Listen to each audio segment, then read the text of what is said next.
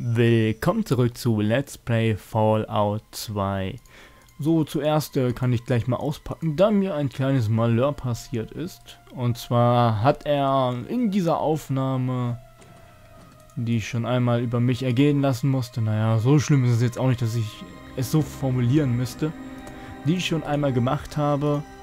Ja, er hat nun mal meinen Firefox, der im Hintergrund was hochgeladen hat, aufgenommen. 38 Minuten und ja, ist es nicht so gut, weil ich mit dem Spiel eigentlich schon durch bin. Ähm, er sagt Tomate oder ja, ist auch egal. Wir haben jetzt auf jeden Fall die Wahl, entweder zum Friz, Frize, ja, zum Vizepräsidenten Bird zu gehen oder zur Privatsekretärin, je nachdem.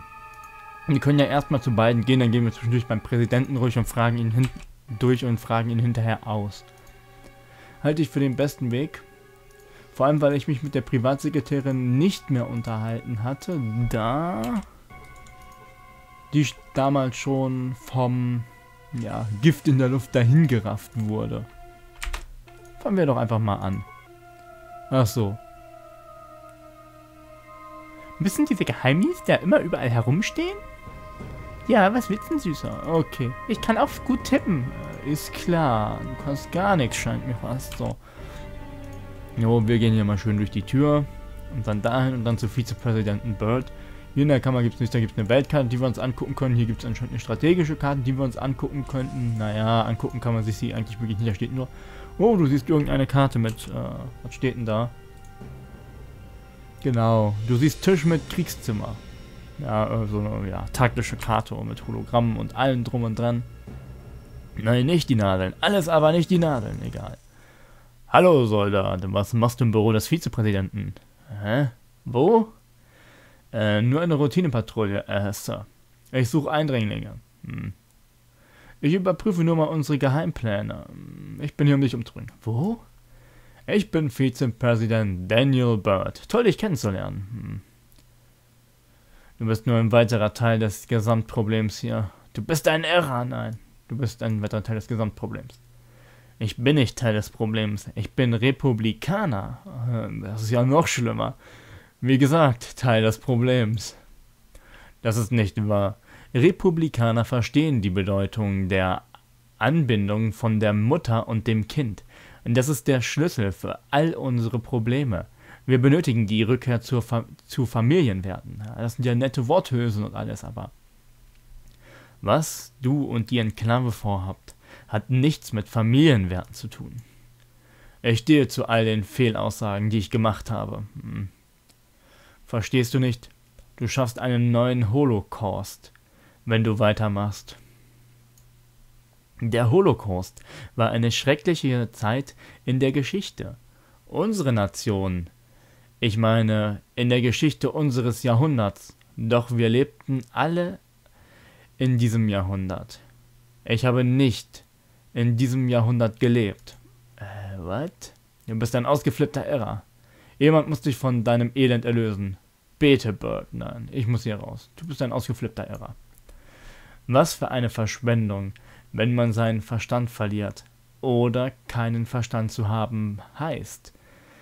Überaus verschwenderisch zu sein. Wie war das doch ist, ich würde sagen, normalerweise eine Verschwendung. Aber in diesem Fall mache ich gerne eine Ausnahme. Hm. Das hast du gerade gesagt? Ähm, ja, in diesem Fall eine Ausnahme. Ich bin nicht Teil des Problems, ich bin Republikaner. Wie gesagt, Problem, Problem, Enklave, Holocaust, ausgeflippter Irrer. Was hast du gerade gesagt?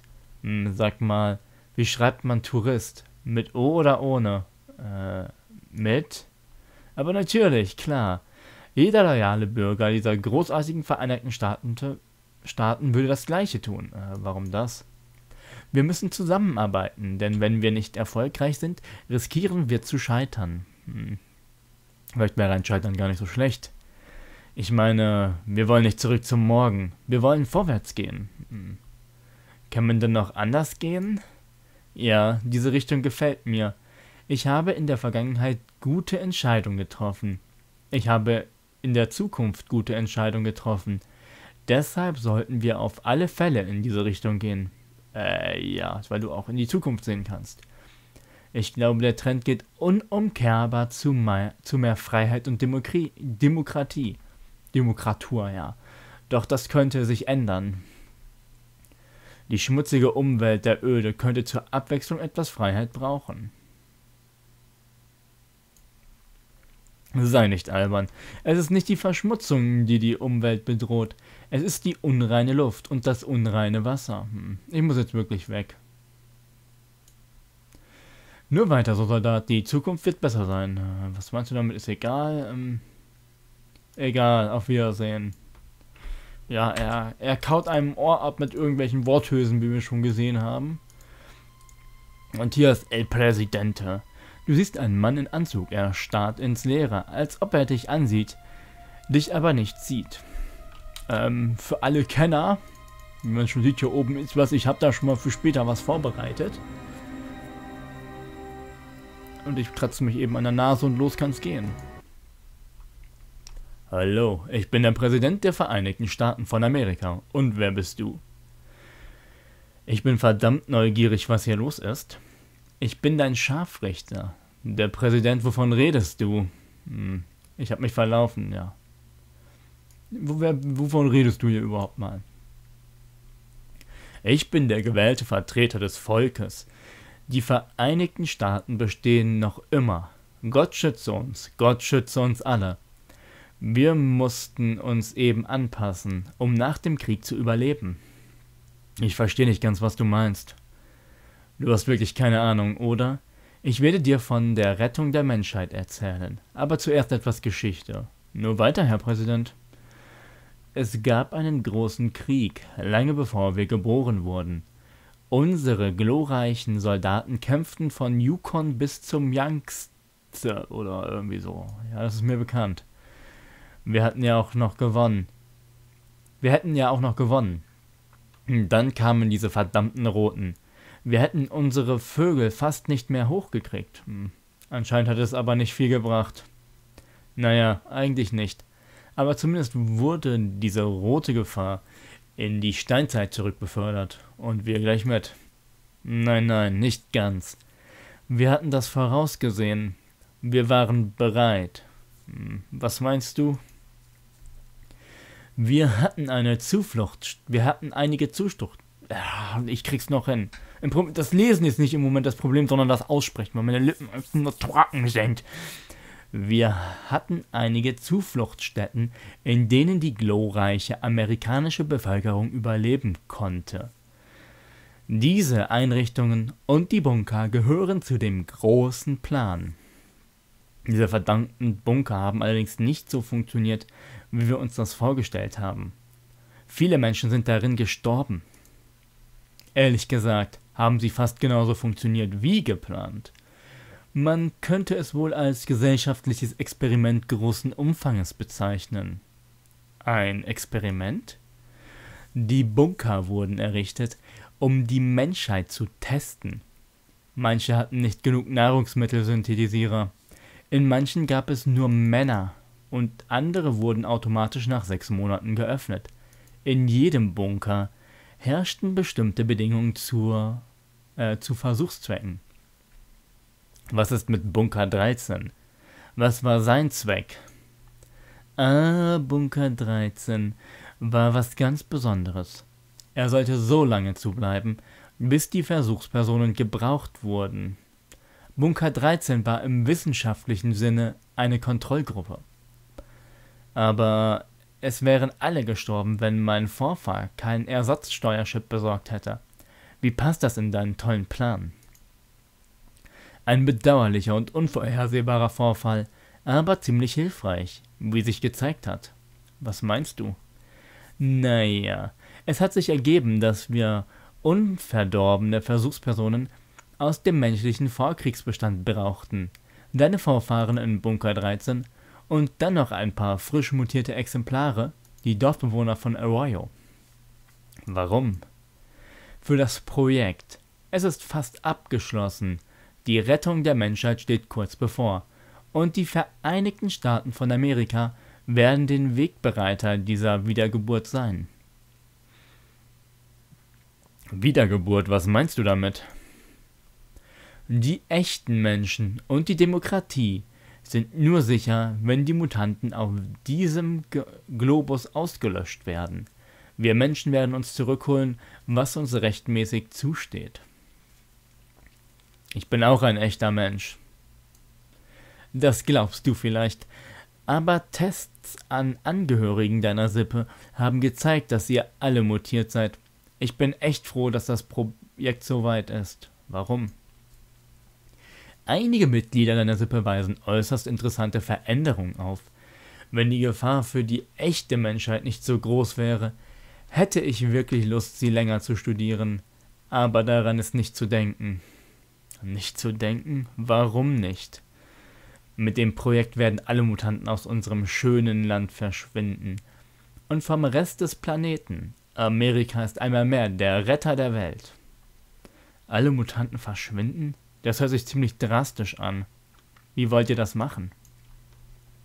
Wir haben vor 70 Jahren eine vollbetriebsfähige Forschungsanlage gefunden.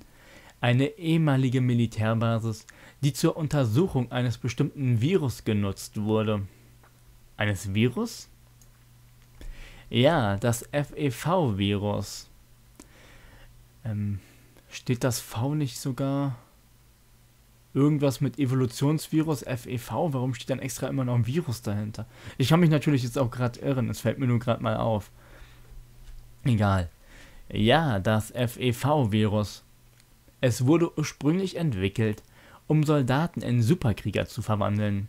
Aber es hat nicht geklappt. Die Krieger waren zwar ausdauernd und stark, aber viel zu dämlich.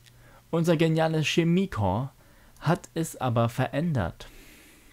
Mhm. Das Virus verändert? Warum? Um es in einen absolut zuverlässigen Killer umzuwandeln. Jeder Humanoid, der nicht innerhalb eines Jahres nach der ersten Freisetzung dagegen geimpft wird, stirbt. Das ist das Projekt. Das ist ja Wahnsinn. Das ist die letzte und größte Hoffnung der Menschheit. Dafür haben wir all die Jahre gearbeitet. Er japst immer ganz komisch. Ob das wohl an dem Gift in der Luft liegt? Großartig. Ihr habt also das Gift, aber keine Möglichkeit, es zu verbreiten. Oh, aber das ist doch das Schöne am FEV-Virus. Wir setzen es hier frei. Und der Jetstream trägt es in die ganze Welt. Und dann müssen wir nur noch warten, bis jeder Winkel und jede Nische auf diesem Planeten gereinigt ist. Hm. Okay, und warum musstest du meine Dorfbewohner und die Leute aus Bunker 13 entführen? Versuchspersonen. Die Bewohner deines Dorfes stammen alle aus dem Bunkerbestand ab. Und wir wollten doch sicher gehen, dass das FEV-Gift noch wirkt. Das haben wir an den Versuchspersonen aus Bunker 13 getestet. Und einen Impfstoff gegen FEV. Ihr testet den Impfstoff nicht an meinen Leuten? ist wohl kaum nötig. Wir könnten natürlich, und es würde sicher auch funktionieren, aber es gibt keinen Grund dafür. Ist dir jemals der Gedanke gekommen, dass das, was du tust, falsch ist? Niemals! Es gehört zu den Aufgaben des Präsidenten, schwierige Entscheidungen zu treffen. Eine Menge von beinahe Menschen werden ihr Leben für die Rückkehr der Menschheit opfern. Der Mensch wird siegen. Niemals werde ich zulassen, dass du das tust. Nur weil nicht jeder da draußen ein genaues Abbild deiner DNA besitzt, hast du noch lange nicht das Recht, sie auszulöschen. Ja, das ist schön. Ich glaube, das habe ich auch letztes Mal genommen. Naja, ich habe diese Entscheidung nicht gern getroffen, wenn es eine andere Möglichkeit gäbe. Aber es gibt keine. Kein Preis ist zu hoch für das Überleben der menschlichen Rasse. Wenn du ein Mensch wärst, würdest du das auch so sehen. Hm. Du glaubst diesen ganzen Mist wirklich, oder? Ja. Und wenn du mich tötest, wird dir das gar nichts nützen. Du kannst die Freisetzung nicht verhindern. Er sieht echt fertig aus. Aber vielleicht finde ich einen Weg, um dir zu zeigen, wie deine eigene Medizin schmeckt. Hm. Das werden wir sehen. Ich habe noch etwas zu tun. Tschüss, Präsident Richardson. Hm. Ich bin anderer Meinung, Herr Präsident. Ich glaube, dich zu töten würde uns helfen. Ich fühle mich bei dem Gedanken sehr viel besser. Hm. Ja, mal gucken, wie dir deine eigene Medizin schmeckt. Du könntest es natürlich versuchen, aber die Angestellten der Enklave und Navarro werden bald geimpft. Sie sind noch nicht geimpft? Wir müssen nur noch die Bestände aufteilen. Dauert ein paar Stunden. Außerdem ist die Enklave eine abgeschlossene Einheit. Weder Luft noch Giftstoffe können rein oder raus. Das werden wir sehen. In der Zwischenzeit werde ich dich persönlich aus dem Verkehr ziehen. Das dürfte schwer sein, schwerer sein, als du denkst. Und selbst wenn, ich bin bereit, denn ich weiß, dass ich das dass ich als Patriot und Diener der Menschheit sterbe. Na, dann mach dich bereit. Nein, nicht ganz. Du hast jetzt Zeit, an deinen Tod zu denken. Komm ja nicht auf die Idee, den Alarm auszulösen. Wiedersehen. Ja. Hat ja keinen Zweck hier. Okay, und wir machen jetzt das, was ich äh, empfohlen bekam oder was auf jeden Fall funktioniert und was man machen kann. Wir geben dem guten Mann jetzt, ja. Letztes Mal habe ich ihm 15 Super Stimpacks gegeben. Ich denke mal, es reicht, wenn wir ihm so, ja, 10 Super Stimpacks geben. Für alle, die nicht genug Super Stimpacks haben, ich werde gleich, ähm, ja, noch was erzählen. Dann zeige ich euch, wo, also wenn man den Weg hier mal nachvollziehen will, wo man noch ein paar Stimpacks auftreiben könnte. Im letzten Video, ähm, wo das Ganze hier abgeschlossen wird, seht ihr einen Ort, wo ich noch ein paar finde, meine ich. Und ich zeige euch gleich auch noch eine Truhe, in der welche drinne sind. Ja, so. Zehn Stück. So, jetzt müssen wir warten. Das geht am besten. Ich speichere mal lieber vorher. Wir warten eben einfach 10 Minuten. Ja, der Präsident ist tot. Und jetzt können wir den Präsidentenzugangsschlüssel an uns nehmen. Ganz ohne Gegenwehr, ansonsten müssten wir jetzt wahrscheinlich die ganzen Leute hier niedermetzeln, so ersparen wir uns das. Auf diesem Zugangsschlüssel ist etwas, das wir das Siegel des Präsidenten, wie das Siegel des Präsidenten aussieht. Offenbar erhältst du damit die Zugriffsrechte des Präsidenten für die Computer. Ja, das benutzen wir später auch noch. Wir sehen, ja, die Leute in den Schutzanzügen, die leben noch, kriegen, glaube ich, ab und zu Schaden. Die anderen, die sind alle tot. Die stand ja vorhin auch noch eine Frau oder so, die wird vom Virus zerfressen. Als es jetzt soweit war, ja, man kann jetzt hier runtergehen. Man sieht, hier sind alle tot, da sind Computer und alles. Man kann hier im Prinzip nicht wirklich was machen. Man kann hier alles noch durchsuchen, ja. Das ist es dann auch schon. Und Super Stimpacks findet ihr im Notfall, glaube ich, noch hier. Wir gehen da mal eben hin. Ich weiß ja nicht mehr genau hundertprozentig, was ich vorhin im letzten Video alles gemacht habe, beziehungsweise in diesem Video alles und was ich darum im letzten Video nicht alles machen konnte. Ich habe auf jeden Fall versucht, jede Menge Zeug in die Luft zu sprengen. Das kann ich euch sagen, das brauche ich dieses Mal nicht tun. Das kann ich uns ersparen. Ja, hier wären drei Super Stimpacks. Und wie gesagt, im letzten Video seht ihr auch noch, wo auch noch ein paar weitere wären. Hier redet auch niemand mit einem. Hier kann man noch ein paar Schränke durchsuchen. Das war's dann. Ob sich das wirklich lohnt, sei mal dahingestellt. Hier oben ist auf jeden Fall so ein großer Großrechner. Ja, da kann man jetzt nicht mehr viel mit anfangen. Mit dem Präsidentenschlüssel können wir übrigens jetzt halt diese Präsidentenzugriffssachen machen, wie... Hm, warte, ich zeige es euch einfach mal. Wenn wir jetzt hier zum Beispiel an diese Rechner gehen. Hm. Machst du? Nee. Ähm, die, bei denen ging das dann nicht. Steht denn da eigentlich dran? Dies ist ein dummes Terminal, das über ein Kabel an einen großen Computer angeschlossen ist. Technologie der Bruderschaft. Ja, das stimmt nicht so ganz. Hier haben wir auch noch so einen schönen Dingens mal wieder. Ein großer Computer. Wie man da hinkommt, habe ich bis heute immer noch nicht rausgefunden. Ja, ist ja auch nicht so wichtig. Hier gibt es auf jeden Fall einen Fahrstuhl. Wie man da hinkommt, ist eine andere Geschichte.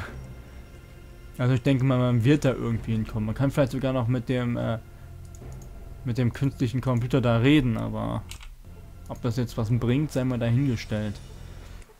Und zwar, wir können uns einloggen, wir suchen die Benutzerliste durch und loggen und ja, wir wählen uns als Präsident ein. Wir haben ja das äh, Siegel. die Insigie. Ja, Notfalldefensivsystem stilllegen kann man machen. Das habe ich, glaube ich, auch gemacht. Notfalldefensivsystem Stilllegung legt zeitweise aktive Sicherheitssysteme von Level zu Level still.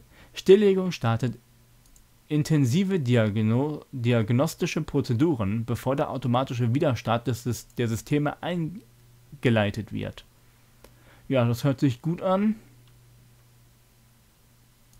Darum machen wir das. Präsidentensicherheitsschlüssel erkannt. Guten Tag, Herr Präsident.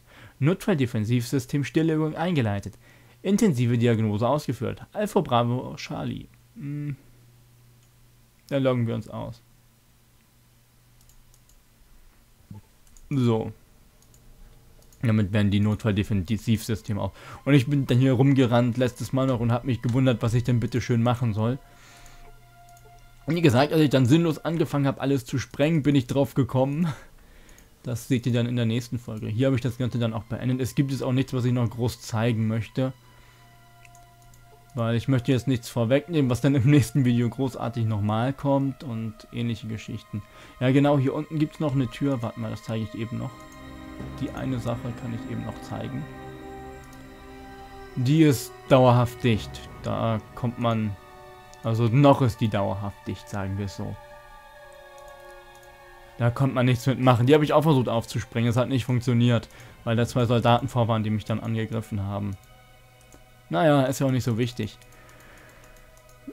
Wir sehen uns dann, ja, so gesehen sehen wir uns nicht zum großen Finale wieder, weil das jetzt wirklich die allerletzte Aufnahme ist, weil das Finale, wie gesagt, vorher aufgenommen wurde. Aber doch, irgendwie sehen wir uns ja schon nochmal wieder und bis dahin, auf Wiedersehen.